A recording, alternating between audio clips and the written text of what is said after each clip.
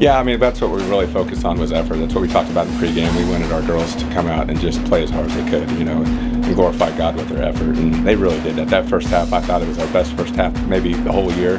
You know, that they are a legitimate uh, number one team in the country, and, and, they just keep bringing bodies at you and bodies at you, and, and we're we're a little undermatched size-wise, but we definitely uh, gave them a little hassle there in the first half, and then we hung with them in the third and they just kept making shots. That team just does not miss enough. And, you know, great for us. We got 83 points. That's, you know, they've been giving up 58. For us to score 83 on them, that's a great effort.